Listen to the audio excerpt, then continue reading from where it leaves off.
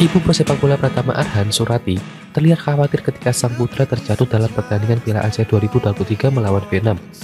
Memiliki tentunya, Surati sempat menjerit melihat Pratama Arhan jatuh usai dadanya disikut pemain Vietnam.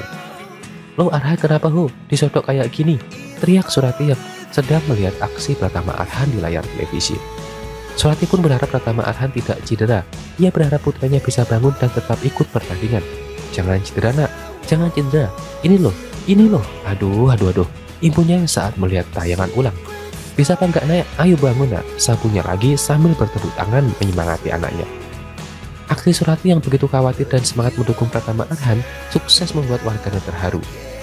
Pasti Makti sama bapak bangga banget ya anaknya bisa jadi pemain bagus. Senang lihat tampil di timnas terharu. Selalu terharu melihat Makti semangatin Arhan kayak gini. Beruntung banget Arho punya sosok ibu yang selalu support dia komentar beberapa netizen.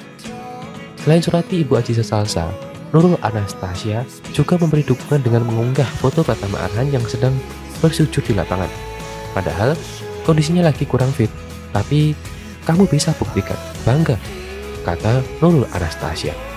Timnas Indonesia berhasil menaklukkan Vietnam dengan skor 1-0 pada laga kedua grup D Piala Asia 2023 Qatar pada Jumat. Sang kapten Asmai Mangku Alam Bahar menjadi aktor kemenangan Indonesia di mana berkat penalti dinginnya pada menit ke-42 berhasil memperdaya kiper Vietnam Philip Nguyen dan membawa 3 poin perdana laga bagi Garuda di Piala Asia 2023.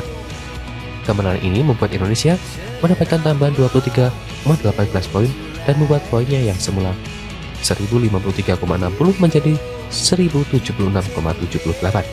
Tambahan poin ini membuat Merah Putih melejit 5 peringkat dari peringkat 167 ke peringkat 142 ranking FIFA.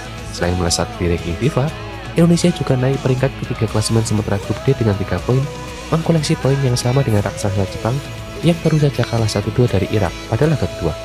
Hal ini membuat peluang Indonesia untuk lolos ke babak 16 besar terbuka lebar. Terlebih pasukan STI kini berada sementara di peringkat ketiga klasemen dengan raihan 3 poin.